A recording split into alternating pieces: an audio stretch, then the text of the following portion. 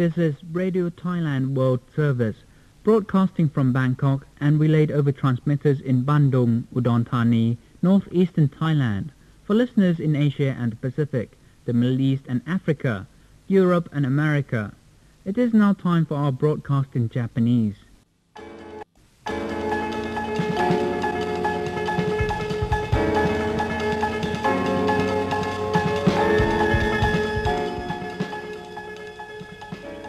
らはラジオタイランドの日本語放送です。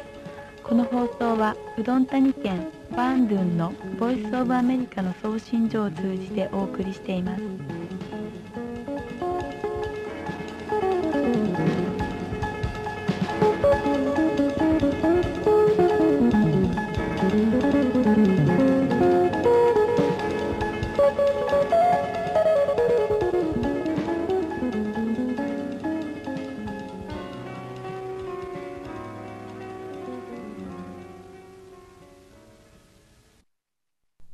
こんばんは。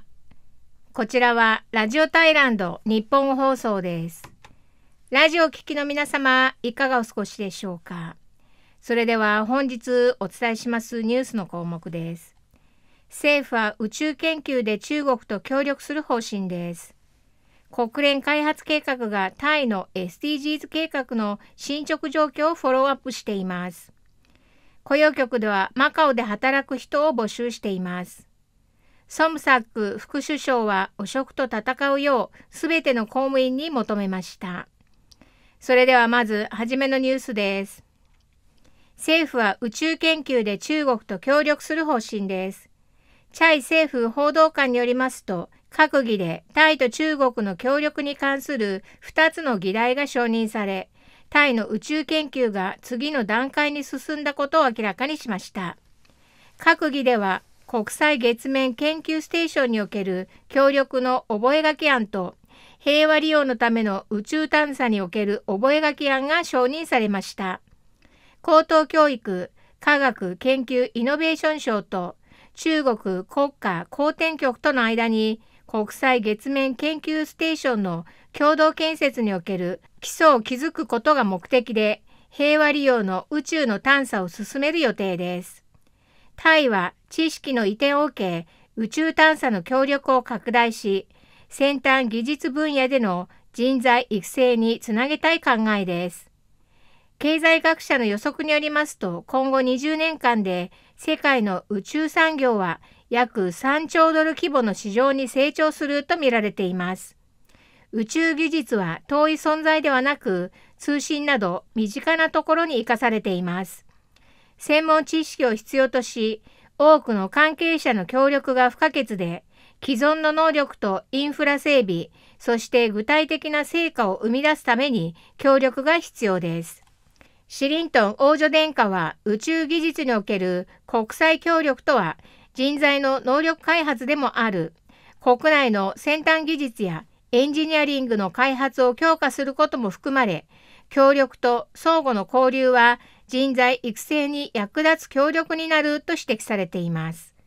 また国の宇宙技術と経済の持続可能な発展のためのインフラとエコシステム、そして将来のタイ人による科学研究、衛星技術の創造に向けて努力してほしいと述べました。次のニュースです。国連開発計画がタイの SDGs 計画の進捗状況をフォローアップしています。アヌティン副首相兼内務大臣は国連開発計画タイ事務所のレノー・メイヤー氏を迎え、トライスリー事務次官らとともに空間的実践における持続可能な開発目標の実施強化プロジェクトについて意見交換を行いました。内務省のこの持続可能な開発目標は国連開発計画と共同で15県で実施されています。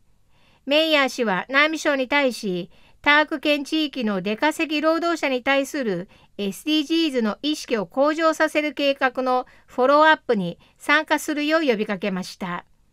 今年6月には SDGs ローカリゼーションプロジェクトの閉会式が行われる予定で、15件のプロジェクトに沿ったガイドラインが発表されました。会議では予算分配や他県への働きかけなどが提案されました。15件の実績報告では、まず各目標における SDGs のギャップを埋めることから始め、各県の状況に合わせ実施計画を検討するため、内務省とが調整を進める見通しです。プロジェクトに従って他県が SDGs 推進のガイドラインを学べるようにしていきます。現在、国連開発計画は内務省と協力し、2017年の持続可能な開発アジェンダの実施状況の報告準備を進めています。今後内務省と国連参加の機関との共同事業では、気候変動、廃棄物管理、クリーンエネルギーを支援する政策にも注目しています。アヌティン内務大臣は、持続可能な開発目標を推進するため政策は今後も推進される。それは内務省の重要な政策でもあり、内務省の指導者が変わっても、それは推進されると述べています。次のニュースです。雇用局ではマカオで働く人を募集しています。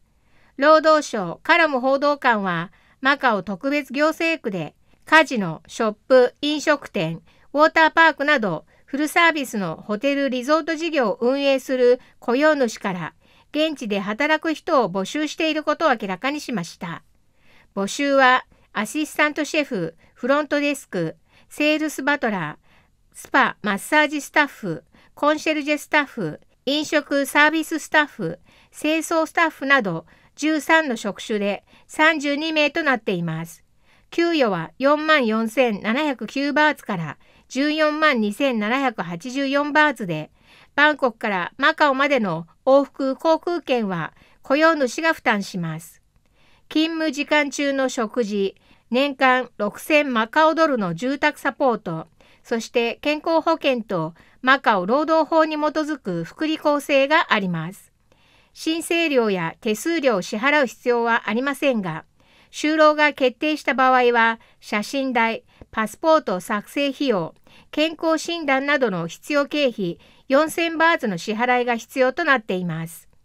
申し込みと詳細は、労働省管理局のウェブサイト、または Facebook で確認できます。次のニュースです。ソムサック副首相は汚職と戦うようすべての公務員に求めました。ソムサック副首相はお金で競争する必要はないとして新規工事の入札見直しを指示しました。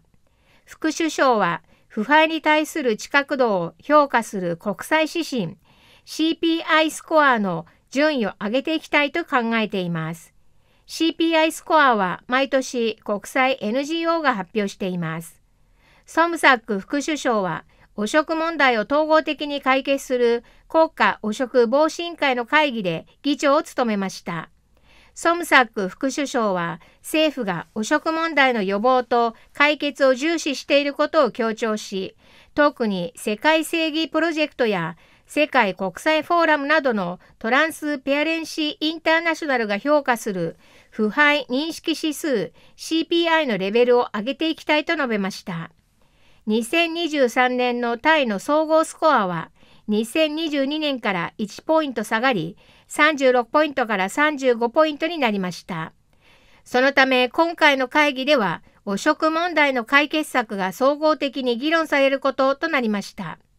副首相は重要なことは贈収賄汚職の問題を真剣に解決するために推進することであると主張し、反汚職について青少年に指導し、汚職と戦うための人と協力体制を整え、汚職を監視し、報告するネットワークを開発することだと述べました。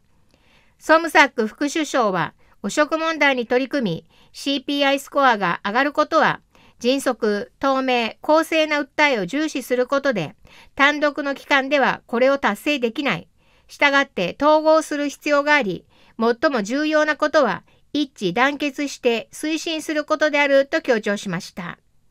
そのため本日のような関係機関が集まり、議論し、共有の結論を導き出すことは大切であり、今後も定期的に招集していく考えです。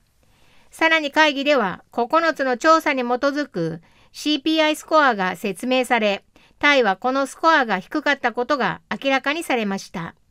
ソムサーク首相は汚職問題で特に懸念が指摘されているのは入札で、入札方式を変えれば収賄が減ると見ており、これによりスコアは間違いなく向上すると認識しています。そのため枠にとらわれない発想で様々なアイデアを提案してほしいと協力を呼びかけました。それでは本日お伝えしましたニュースの項目を繰り返します。政府は宇宙研究で中国と協力する方針です。国連開発計画がタイの SDGs 計画の進捗状況をフォローアップしています。雇用局ではマカオで働く人を募集しています。ソムサック副首相は汚職と戦うようすべての公務員に求めました。以上、ラジオタイランドの小島秀美でした。ごきげんよう。さよなら。ฟ้าดนบันดาลให้เรามาพบเวทมนต์ชั้นใดถึงได้ มาเจอ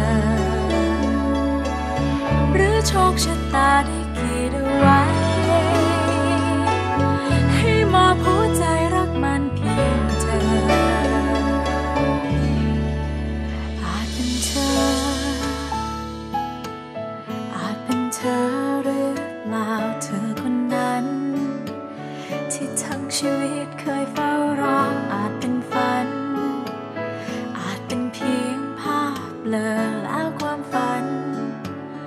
ก็พลันสะท้อนเป็นเรื่องจริงค่ะ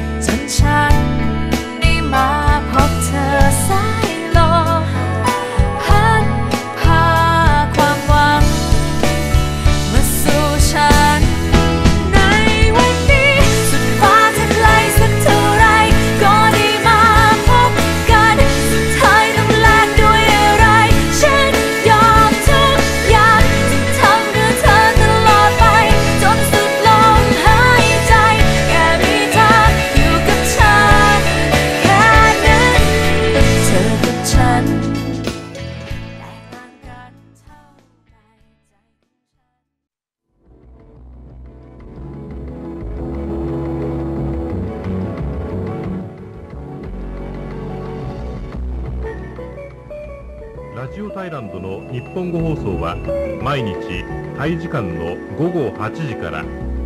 日本時間の午後10時からそして GMT では13時から15分間放送しております。これで本日の放送は終了いたしました。